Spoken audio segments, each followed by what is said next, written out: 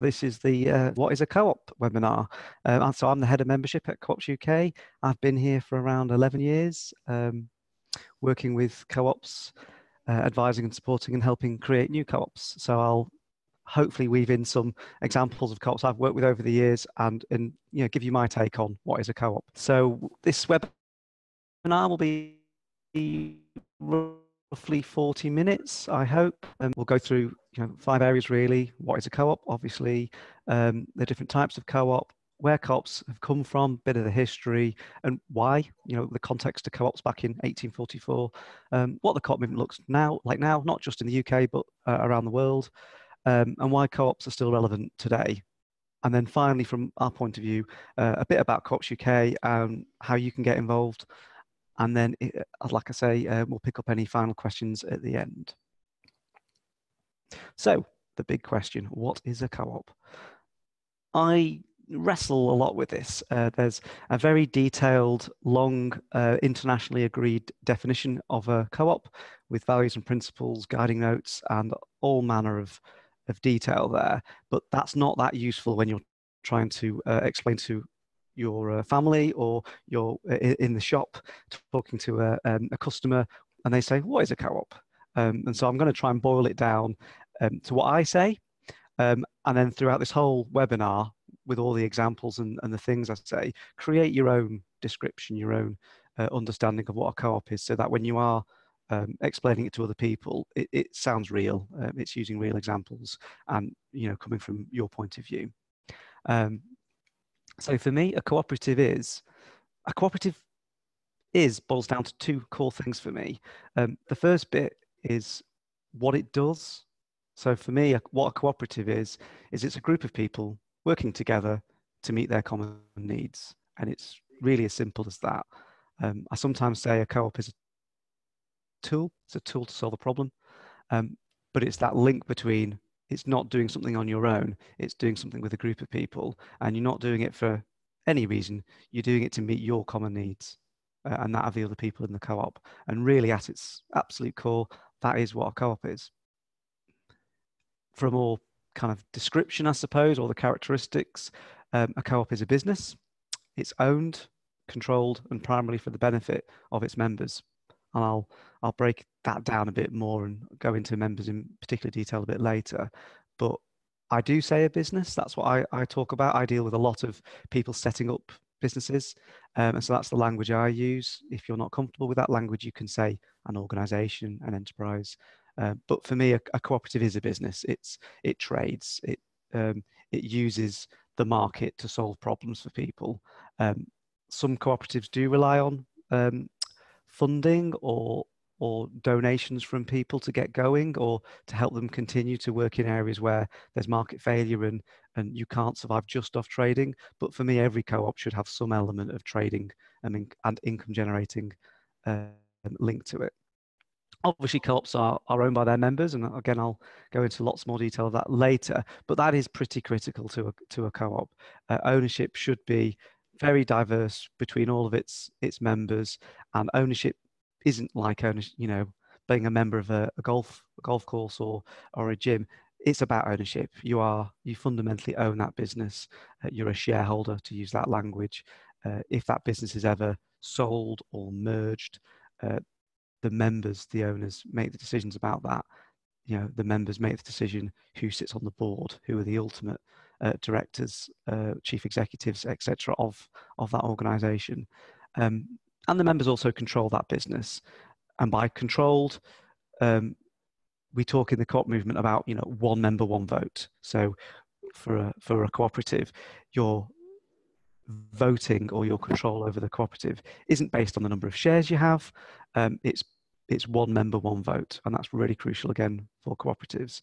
And then finally, just for this this bit, um, a co-op is primarily for the benefit of its members, and by that I mean cooperatives do good things and they do good things in their community, um, but then ultimately self-help organisations. They're about people coming together to meet their own common needs, not a philanthropic exercise where one group of people are coming together to help another group of people. And so although lots of cooperatives do operate in the community sector and for community benefit, we always say to be cooperative, those beneficiaries and those uh, users of, of that community service really should be the members and really should make up some of the owners um, of that organisation.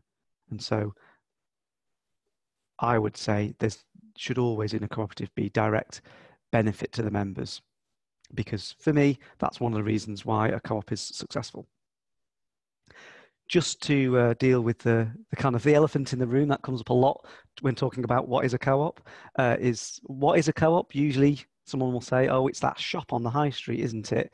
Um, and that's very true. Um, and, and, and quite rightly so, that, that co op uh, is a 10 billion pound business with thousands of outlets all around the country and you know its roots go all the way back to the rochdale pioneers um, and the people who really nailed the name at cooperative. And so, yeah, you know, the co-op is is a supermarket, it is a corner shop. Um, but it's more than that, obviously. Uh, there's over, in the UK, over 7,000 different co-ops of all shapes and sizes.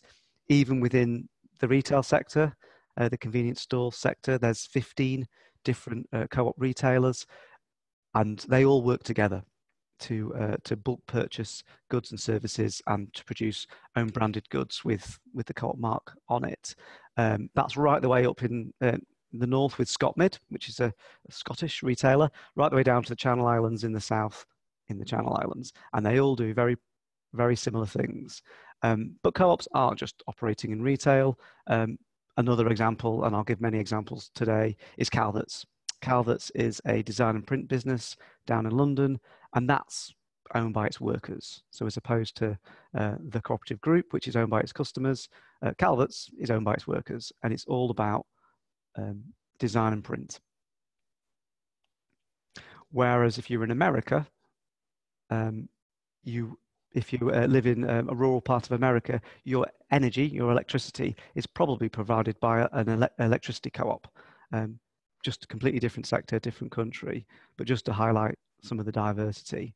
Um, as I've mentioned a couple of times already, membership and members is absolutely critical to what a cooperative is and why they are important. So, members are the foundation of every co op. Like I've said, it's why they exist. Uh, cooperatives exist to meet the needs of their members. They're owned and controlled by their members. But who, who are their members? Um, for me, I deal with a lot of people setting up cooperatives, uh, and I, I always my advice to them is always, whatever the purpose of the cooperative is, whatever the need the cooperative is trying to meet, that that and that conversation drives who the members of that cooperative should be. Um, so one of the examples I would give is if uh, there's a need in the community to save the local village shop or village pub because it's closing and um, no one else wants to buy that shop or that pub, then the community have a need. The, the customers of that shop or pub come together and might want to save that shop or pub. And they're probably the best placed people to be the members, the, the owners of that cooperative, as opposed to the, the people who work in the pub. Whereas if you're in the centre of London, you're a creative agency with uh, really um, highly qualified staff, you know, delivering you know high knowledge based work, um, but in a in a sector with lots of um, lots of different customers, lots of diversity of customers, you probably wouldn't be a consumer cooperative. You would probably be a cooperative um, owned and run for the benefit of the workers in that cooperative. So just to give um, both sides of it. So for me, yeah, the members, the members are absolutely critical for uh, what is a cooperative. And like I've mentioned, um, the members may be the customers, they may be the producers of what the cooperative sells, they may be the surrounding community. Um, and really, that, particularly uh, when you're talking about starting a co op, is the most crucial decision of, of a startup journey. Who are your members? And equally for co ops who are growing and, uh, and have been going for a very long time, not losing sight of your members and particularly the distinction between who your members are um, and who your customers are. Just a quick point on on shareholding or you know that that that ownership thing. Um, members can invest in their co-op. They are shareholders. They um, a lot of the early co-ops were only created because their members uh, invested in them to get them off the ground. Um, and that's part of uh, a lot of uh, co-ops in the community sector today where they issue community shares to raise finance to build wind turbines buy shops etc so cooperative members very much can and do invest in their cooperative uh, and they can get return on that investment um, you know but and this is the big but from a cooperative point of view the reason why a member invests in their cooperative is not just for uh, making money not just for the financial return on that investment the main reason a cooperative uh, a cooperative asks its members uh, it asks its members for money and for those members to invest is to support the purpose of the cooperative. Um, and they are allowed to pay interest on those shares, but not at, at, at, full kind of financial rates, if that makes sense. So it's a, it's a knotty issue, and it's something we at Cooperatives UK uh, deals with the uh, Financial Conduct Authority with all the time about how much can a cooperative um, pay back to its members, and, and that's something we changes from year to year. At the moment, it's probably around five, six, seven percent return. Moving on to uh, legal structures, and uh, a big question people tend to get asked about: Is a co-op different than a, co- a, a company? You know, is a co-op a company? And that sort of question. Just to say, really, that yes and no. it's a difficult one. Um, cooperatives can essentially be any legal form at all. Uh, that complicated diagram uh, on the screen is all the different forms uh, a cooperative could take. Some forms are better than others. Um, so, yes, cooperatives can be companies. It's one of the forms they can take. Uh, but no, not all cooperatives are companies.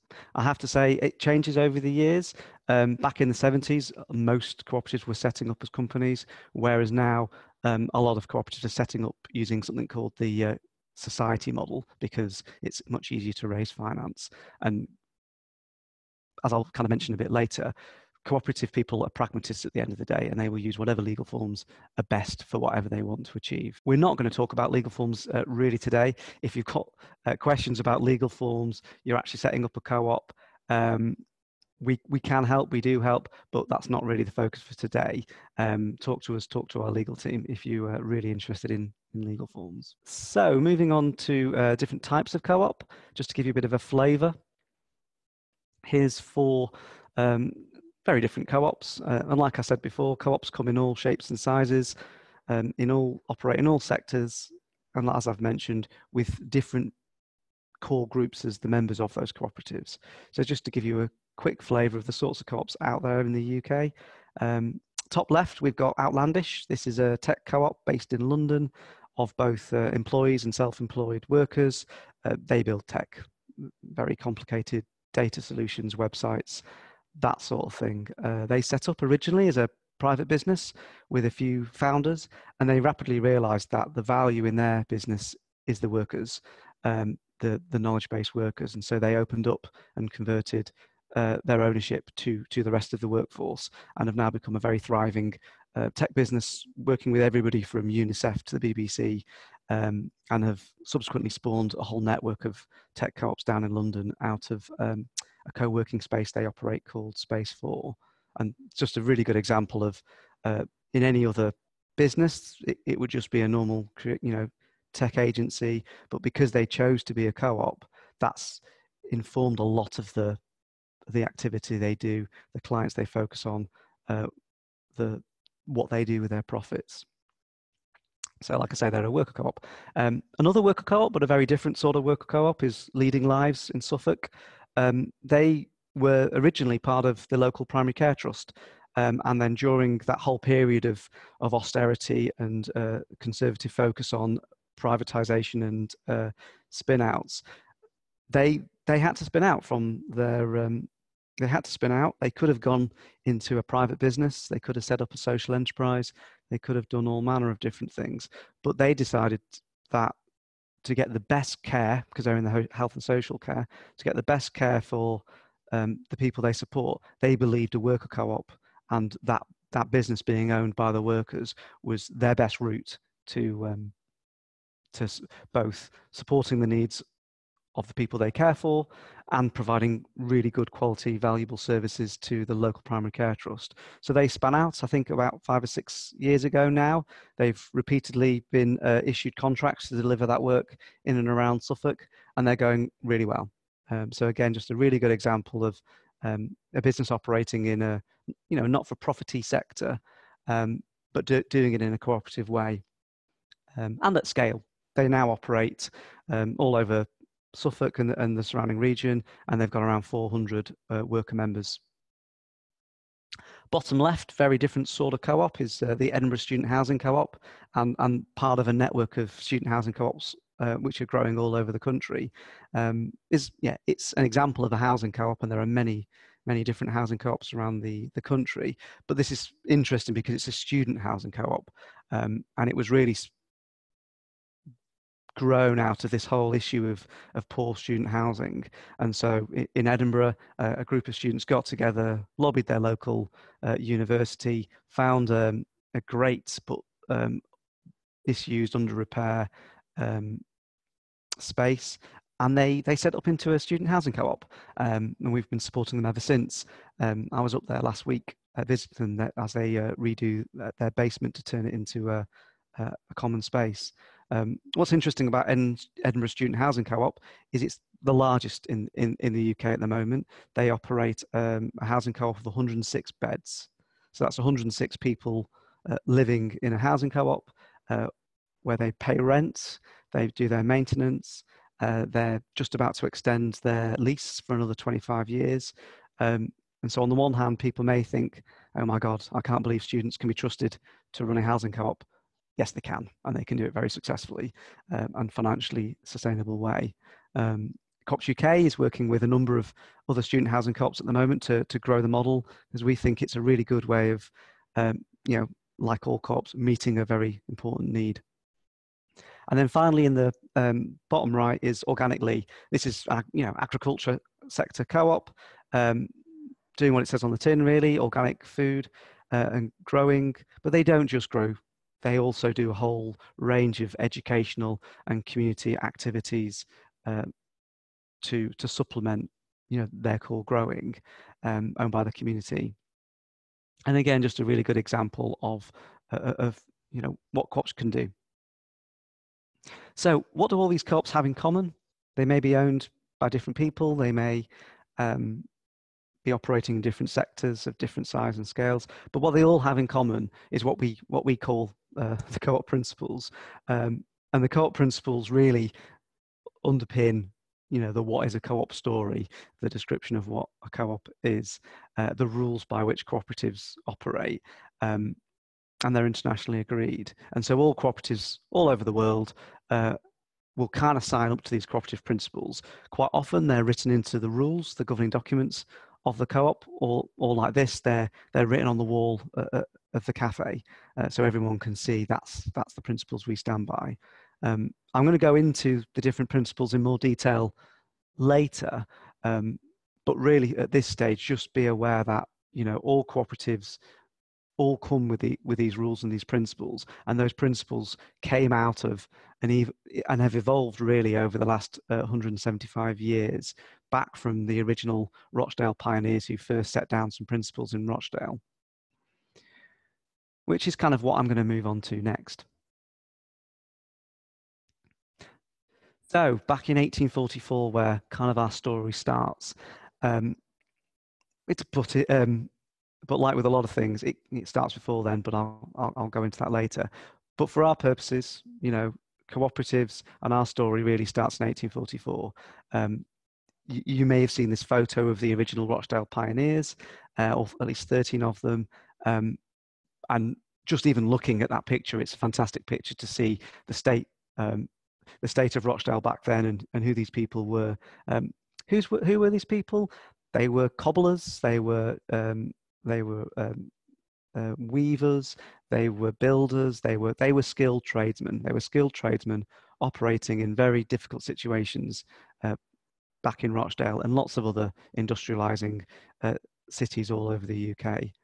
And what was the situation back then? The situation back then was was one hotbed for radicals. There was lots of political radicalism, uh, religious radicalism, um, this whole movement around the vote, the Chartist movement uh, about giving the common man the vote, was all around that period of time. Um, and cooperatives were were fermented and, and built out of that time. Um, it was a period of uh, inequality, um, mostly linked to you know automation, the, the the move from artisan weavers to factory based weaving, and and that came across lots of different industries. So people were poor, people were exploited, um, inequality was growing, people were suffering, and Rochdale was no different than lots of other um, industrializing cities of the north of England, and to be fair, other parts of the world as well. And really, that's that really is where cooperatives came from. And again, something that I'll weave in later, that's not that dissimilar from where we are now. So it's no surprise that cooperatives are of interest to people today. You know, the Labour Party's interested in doubling the size of the cooperative economy. Um, you know, other people um, academics at the moment are, are contacting us, uh, unions are contacting us, delivery drivers are contacting us. Uh, there's a, this interest in cooperatives at the moment, and actually, when you look at when cooperatives first started to flourish, we're in a very similar sort of situation. So where where did cooperatives come come from? So I kind of equate cooperatives to a bit like football um, insofar as people have always kicked a ball around, they've, they've always played with a ball um, all over the world, in fact. But really, there was a, a moment in time when people didn't just say, oh yeah, do you want to go around and kick a football around? They talked about the game of football and, and, and what that meant. And so so cooperatives is, is, is kind of similar to that. The idea of cooperating with, with others has been around for generations, the Roman soldiers, you know, cooperated with each other uh, by saving money together. So if one of them died, money would go back to their families back home. Um, the Fenwick Weavers in uh, the 1700s, um, I think, were the first organisation to term the use the word cooperative, and they um, they were they came together to to market their their, their weaving goods. Whereas in Rochdale, what happened is they started to use the word cooperative and crucially they wrote down the rules they wrote down the principles of what that meant. And so really similar to football the game of football has been been played for for generations but it wasn't really till the 1800s where a, a group of cambridge um, university students got together with some students from other universities and wrote the rules of football so that when someone goes, Do you want a game of football? everybody knows what that means. It's, it's moved from being a verb to a noun. Um, and really, that's why I kind of use that example um, to explain cooperatives because what the Rochdale pioneers did is they wrote the rules of the game of what it means to be a cooperative. Um, I just put those on the screen. So the original Rochdale pioneers are different principles, different rules than the ones we live by today. Some of them have remained the same and evolved. Some of them have um, have been removed, and that's again part of the cooperative story. Co- cooperatives, by their nature, are pragmatic. They they innovate. They uh, evolve with the times, and so the Rochdale pioneers, you know, had their seven principles. They wrote down those original rules, um, and we've taken them and we've we've grown them over the years. So just kind of going back to again who those Rochdale pioneers were, um, they wanted to change the world. Like I mentioned before, they were they were radicals. They um, they want they fought for the vote. They got the vote.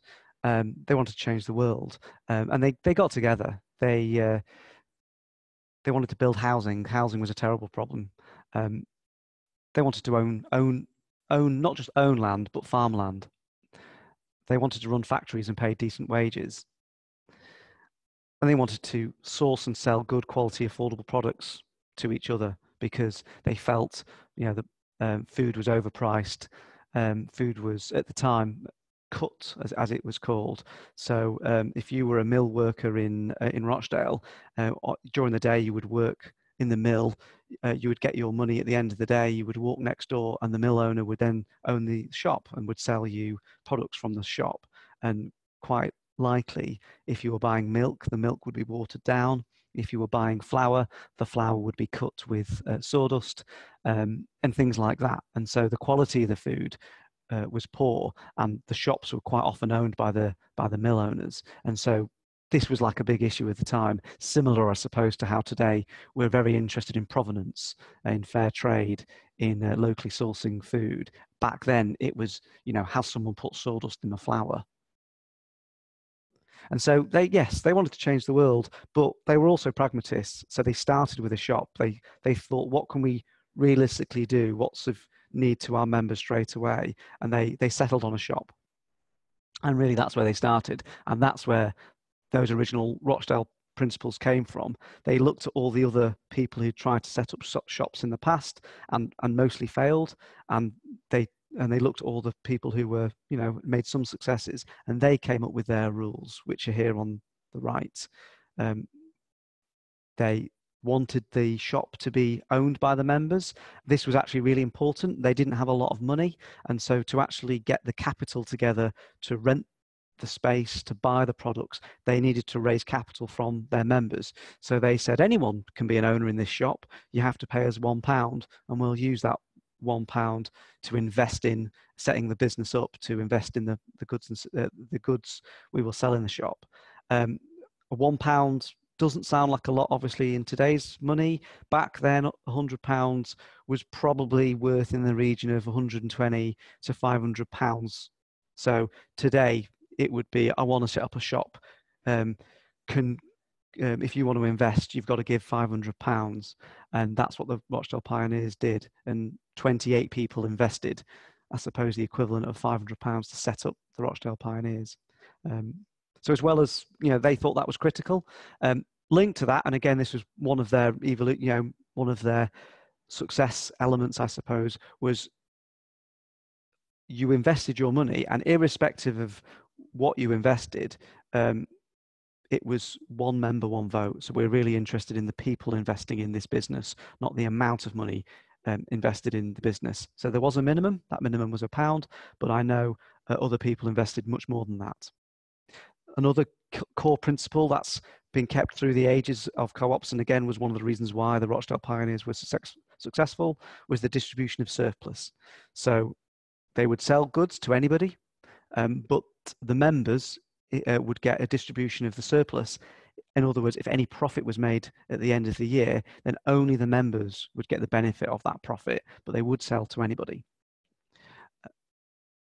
And the other things, well, I'm not going to go into too much detail. Some of those have changed. Cash trading was a was a big one at the time. They didn't they didn't want people to get into debt, so they wouldn't offer credit.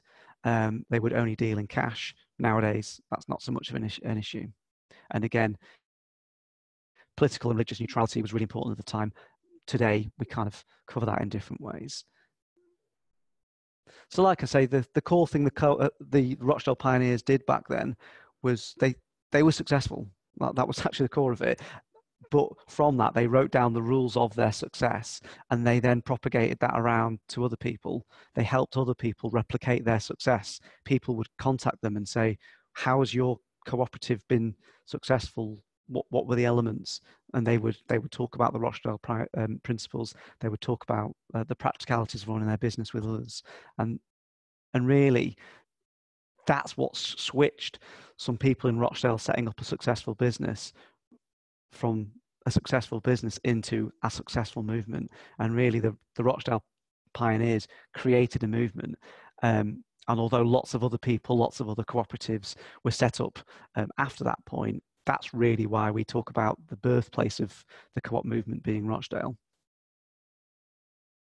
Just to give a bit of a, a feel for the timeline, because I find this quite interesting. There's this lovely story how um, they, when they were starting up in Rochdale, they tried to uh, get uh, goods from the local um, wholesalers in Rochdale, and the local wholesalers wholesalers in Rochdale wouldn't wouldn't deal business with them. They thought they were a bunch of radicals, so they literally had to walk to Manchester to pick up the the goods they wanted to sell in the shop uh, with a wheelbarrow and wheelbarrow it the you know 11 or 12 miles back to Rochdale because the people in Ro- the the, the, the uh, wholesalers in Rochdale just thought they were disruptors, uh, didn't want to deal with them. And so they opened up their first shop in 1844 with 28 uh, original members, all putting in a pound. Um, they opened at 8 p.m. on the 21st of December, and they sold on that first night butter, flour, oatmeal, sugar, and they were going to sell candles as well. But um, the local gas company didn't think their business would succeed at all, and so wouldn't um, give them any uh, uh, gas supply. And so they actually had to use the candles to light the shop on that first night. Um, little, little does that gas company uh, know that that that business was incredibly successful uh, and spurned a, a, whole whole global movement. Um, but there you go. Um, so yeah, within you know within 15 years, that that shop um, grew to be six shops in and around Rochdale, and grew to be you know over 3,000 members just just in 15 years and throughout that whole period they also uh, like i mentioned helped other people set up cooperatives and and follow their success follow their model all over the country. Um, in 1863 uh, 300 co-ops in the north there was more than that um, in total around the country set up the cooperative wholesale society which is again one of the, the kind of forefathers of the co-op group um, based in manchester. Um, and that that wholesale society was exactly what it says on the tin. It was for those cooperatives to to source and produce goods together to to essentially outcompete the competition by cooperating um, between each other. And then Cooperatives UK itself was created in 1869. So we're uh, celebrating our 150th birthday later this year um, and going into next year. And again, you know, Cooperatives UK was created by by those original cooperatives to to grow the movement, to to propagate the model. They thought it was so important that you know they wanted to to invest in in a whole new generation of cooperatives. So that's really where where we come th- uh, from from an organizational point of view. And all over the world, you know, they helped set up the International Cooperative Alliance, as it's now called, and um, and helped cooperators all over the world set up cooperatives. So, you know, 175 years later, where are we? Well, their original shop on Toad Lane in Rochdale is now a museum, and people come from all over the world to visit that museum to see where their cooperative movement has come from. Um, and I find this particularly funny, as I'll, I'll, mention a bit later, because of the sheer scale of, of where the cooperative movement is in other countries but yeah, people people come back to that museum in Rochdale. So if you're ever if you're ever in Manchester, do do take the 15 minute train journey into Rochdale and do visit that museum. It's it's a wonderful place. Um, but yeah, like I mentioned, what what happened 175 years later? There's now from that first co-op shop in, in Rochdale in 1844, there are at least, and, and this is at the very least, uh, three million cooperatives worldwide. 3 million cooperatives worldwide. Just, just let that uh, figure settle in for a second. Cooperatives employ 280 million people worldwide. I think they reckon that's about 10% of um, the kind of global workforce, global, globally employed workforce. But yeah, 280 million people were, uh, worldwide are employed in co-ops. And they support around a billion people who are members of cooperatives, who you know source their goods and services from cooperatives, a billion people worldwide. That might sound, from a UK context, ludicrous. You might not think that's believable at all, um, and I'll kind of go on to that a bit later. But just kind of moving into what the co-op movement looks like now. In the UK, you know so going from 3 million cooperatives worldwide back to what what, does it look like in the uk 7000 there's just over 7000 independent co-ops in the uk um, and you know 13 million members of cooperatives in the uk so again, using the, the football analogy a little bit, uh, although we may have invented or unwritten the rules of football down, uh, we are certainly not the best players of football around the world. And, and actually for cooperatives, it's a very similar story. Although we wrote the w- rules of what a cooperative is, um, and you know can be called the birthplace of the cooperative movement, other countries are way better than we are. Um, but yeah, so just a, bit, a quick look at cooperatives around the UK. There are cooperatives all over the UK, like I mentioned, um, on the Isles of, of Skye, up in up in the, um, the north, uh, like I say, right the way down to the Channel Islands, down in the south.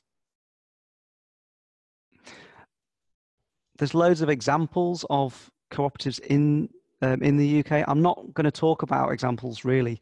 Um, there's loads of stuff on Co-ops UK's website. If you want to look at co-ops like yours, or you want to um, set up a co-op and try and find a co-op that's already doing something similar, there are loads of examples on our website, or get in touch with us, and we can definitely put you in touch with with uh, similar cooperatives. But just to kind of focus on uh, on the world again, um, the largest co-op in the world, just because uh, it's, it's puts put some of this in context. The largest co-op in the world is is actually quite boring. It's it's a bank. It's uh, it's called Credit uh, Agricole in uh, France, and it's a bank. So it's a bit boring. I'm not going to focus on that co-op. I'm going to focus on another of the largest co-ops in the world, which is uh, uh this one. It's a fertilizer co-op. It's um, called the Indian Farmers Fertilizer Co-op, and it's the largest manufacturer of fertilizer in India. Uh, it's got 30% of the market. Uh, for me, this is a fantastic example, and, and I use it quite a lot of the, both the scale of cooperatives, but also uh, co-ops are really about practical self-help and meeting really common needs of, uh, uh, of people. And it's not always sexy, um, but that's what really what co-ops are about. Um, so yeah, the the uh, IFFCO is a great example of of a co-op meeting people's needs and at scale. And here's some really interesting figures for you. Uh, IFFCO is a federation of 35,000 co-ops in India. Um, so in the UK, like I mentioned, there's about 7,000 co-ops. In in this one sector in India, there's 35,000 co-ops, um, and they provide services to over 50 million farmers. Moving on to another example, kind of in a completely different sector, is the Mondragon Group in the Basque Country of Spain. Um, it's it's an, again a federation of cooperatives, particularly in the Basque Country, but they've now spread out all over the world. Um, they build everything from bikes to white goods, uh, robots and solar panels. They're a manufacturing business, um, and as opposed to um, the the previous one, which uh, which was owned by the farmers. This business is owned by the employees. It's a worker cooperative, um, employing you know over seventy five thousand people, um, and like I mentioned, it's a federation of different cooperatives producing different things. But again, a great example uh, if you've got the time to dig into. Um, what was particularly interesting about Mondragon is they were set up again in a period of, of, of exploitation, of unfairness, of injustice uh, during the Franco uh, dictatorship in the and the Basque Country essentially had to create everything for itself. It had to create its own its own shops, its own employment, its own bank, its own university, and even its own social security system. So uh, Mondragon runs health insurance, unemployment insurance for its own workers because at the time and uh, and I think it's still kind of the case that system just did not exist. The state did not uh, do that for them, so they did it for themselves. So, uh, why are co-ops still important today, uh, and how can you get involved? Just like to say, I suppose, whether whether you, your co-op's three, three hundred, or three million members, whether you're producing ceramics like the ceramics co-op up there, energy uh, like Westmill uh, Solar, or whether you're selling food like a, a co-op on on the high street, um, co-ops are there to meet people's needs and to meet people's needs in a democratic and sustainable way. That's for me why cooperatives are important. They're also important in times of of economic injustice, um, whether it's the 1840s, 1970s, or or 2020s, um, and really that's kind of where why co-ops are relevant today. So there's loads of issues going on in um, in society at the moment, whether it's housing, whether it's the precarious, uh, sh- you know, what people politely call the sharing economy, but it's basically how to rip off uh, workers' economy, whether it's climate change or whether it's just uh, the retreat of the state uh, from public services. There are loads of issues at the moment that people have needs that need meeting. And for me personally, this is where cooperatives come to their fore and where cooperatives, I feel, are the solution to these sorts of problems. Um, so just to quickly go back to the cooperative principles, the cooperative principles really under underwrite and are the foundation of, of everything a cooperative does. And even though you know, it's not written into the cooperative principles to be environmentally friendly um, or to provide decent jobs because of the fact that cooperatives are member owned, because of the fact that they have these underlying principles, it's self evident that cooperatives do those things. There's no wonder that the cooperative movement was the first to fight for women's rights and women's property rights, for the five day working week, for, uh, in more recent times, fair trade. Um, uh, you know, the co-op group at the moment is fighting um, calls on modern slavery. Uh, Mid Counties Cooperative is is fighting uh, a campaign on um, plastic and the use of plastics. Um, loads of cooperatives are at the forefront of different causes and different campaigns, not because they're written into the rules of their business, but because it's just part of their DNA. Actually, it's it's their members want them to do these things. So just really quickly, because my uh, head of comms would kill me if I didn't mention what Co-ops UK is up to uh, at the moment. Um, what's Co-ops UK doing uh, in this space? So most um, coming up on the 24th of June, uh, June, it would be great to get involved in uh, Co- uh, Co-ops Fortnight, which is um, two weeks for mass cooperation. Uh, this year, our main call to action is do do an act of cooperation, whether it's picking up litter, whether it's supporting another co-op, whether it's opening your your doors. You know, do something to show and raise awareness that you're a cooperative and um, you know you are cooperative. Um, and most importantly, sign up to uh, Co-ops Fortnight to make sure that uh, you you're tweeting about it, you're getting it out there, uh, you're taking advantage of our press team to help with press releases, so that really during that two week period of Co-ops Fortnight, we're all raising awareness for uh, for co-ops.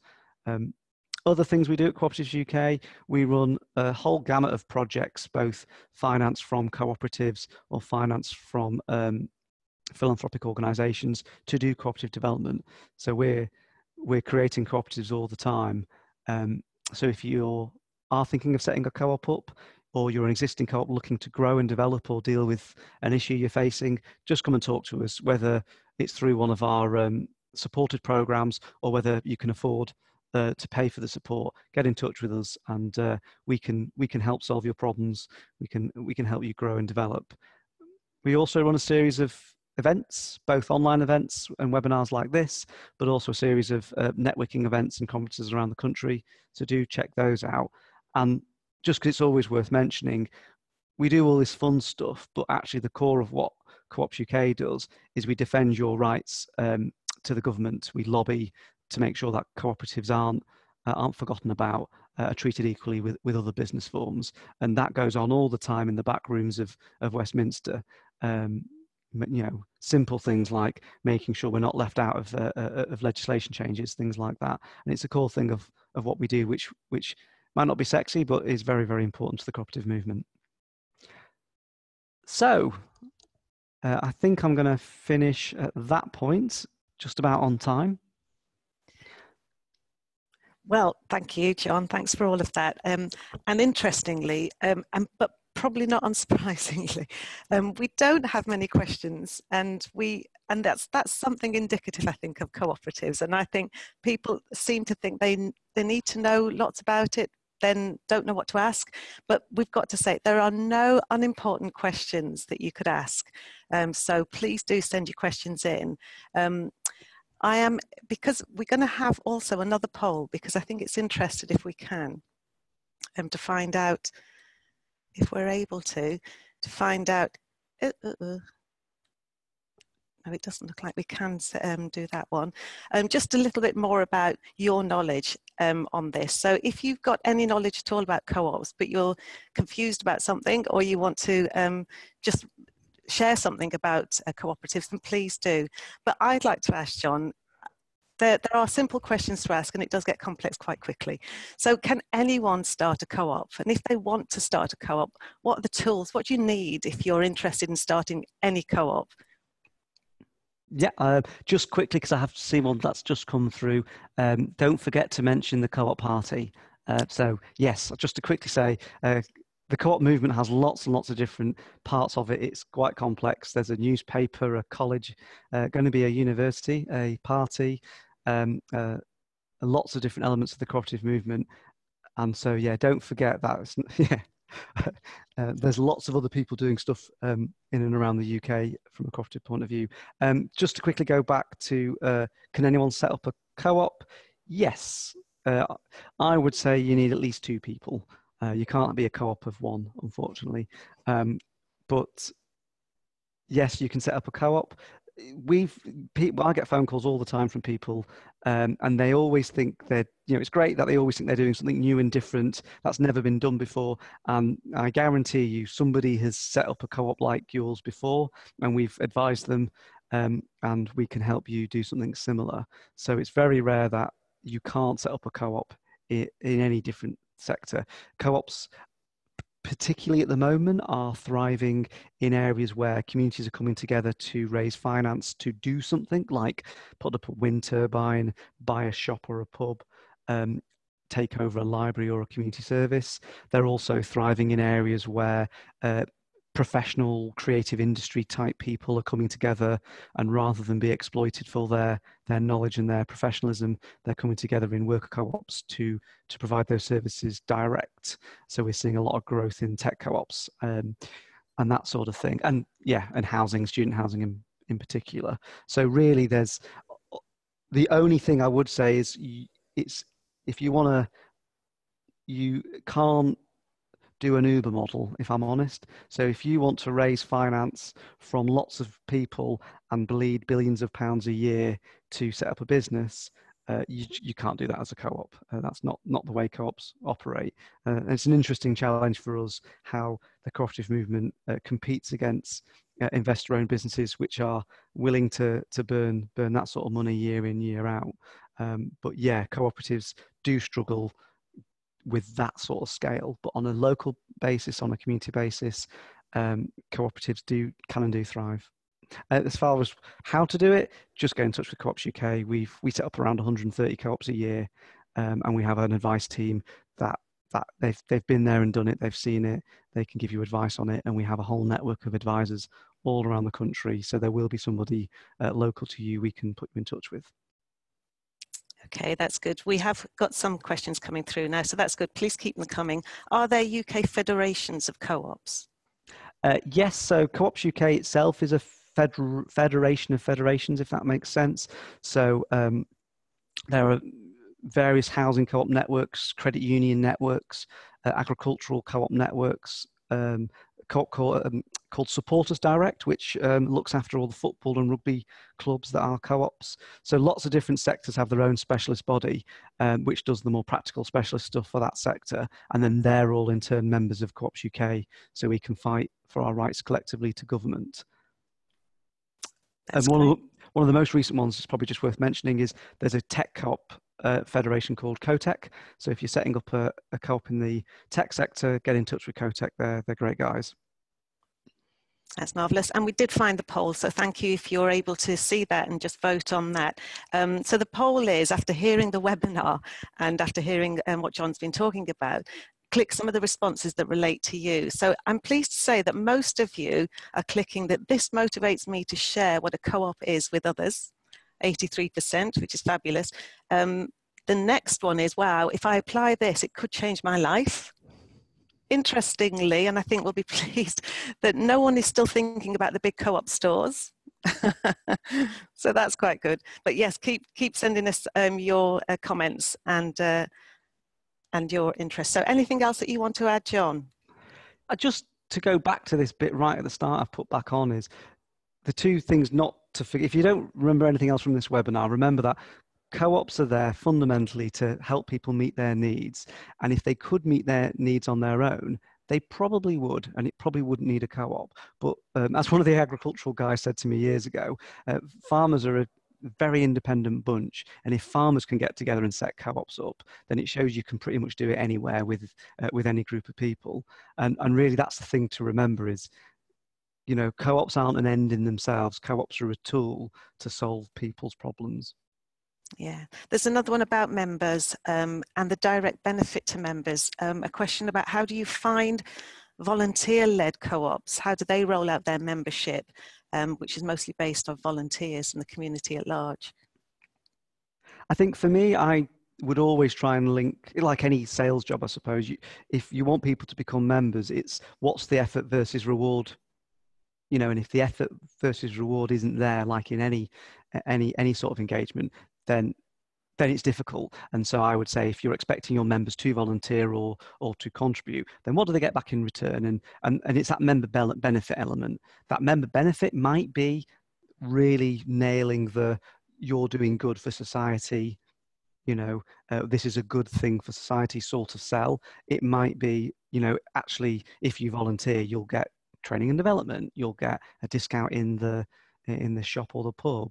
And it's it's linking the the what, what rewards are you giving for membership um, even if that might just be altruistic rewards um, to the effort you're expecting. And if you don't get that balance right then no matter of selling or or or, or, or marketing w- will will be successful. Mm. Um, so we're almost coming to the end. Uh, just a question on whether the slides are going to be available, and just on the point where um, where people are motivated to share this with others. We've we've got 91% of the attendees who want to share this with others. Um, how how can they do that? Uh, so we will. So I'm actually doing quite a number of webinars and, and sessions like this through Co-ops Fortnight. So the slides will be available after this, uh, and in a few weeks' time, we'll uh, have a more polished slide deck um, and we're really happy to help people propagate this message use this uh, slide deck to do their own talks. So if you are if you are interested uh, yeah watch this space and you'll get an email no doubt after the event with the slide deck and and how to yeah how to use it. Thank you. If there aren't any other questions um, we want to thank john um, we want to thank Cooperatives UK and all of the attendees. Uh, it's been a really interesting webinar. As John says, we will be doing more of these. These webinars are part of our Co-op Connections program of events. So keep looking on our website for things that you can get involved in for free. There's a lot of networking um, events around the country. So if you are able to get to one of those, look on our website for the Co-op Connections events. Um, and we will be doing more webinars as well for free. So it's always worth um, coming back to the website. And if you're part of a co-op, if your organization is a co-op and you're not a member of Cooperatives UK yet, well, please think about that because again you get involved with so much of our co-op connections events and the networking and you get part of the subscriptions and newsletters and what have you. So it's really important if you do if you are part of a co-op to come on board with us which would, which would be wonderful. So if you haven't got anything else to add john if, are there more questions coming in at the end? Just thank you. Just looks thank like you thank you no, thanks everyone for coming. And uh, yeah, any feedback on the webinar itself, um, which bits we should have covered more of, should have covered less of, um, do do let me know. Uh, I find it really hard to do this because I, I talk about co-ops all the time, and it's quite hard to condense it down to to a 45 minute webinar. So yeah, do give me feedback on how I can improve the uh, the understanding of it. So thanks everyone, and see you again soon.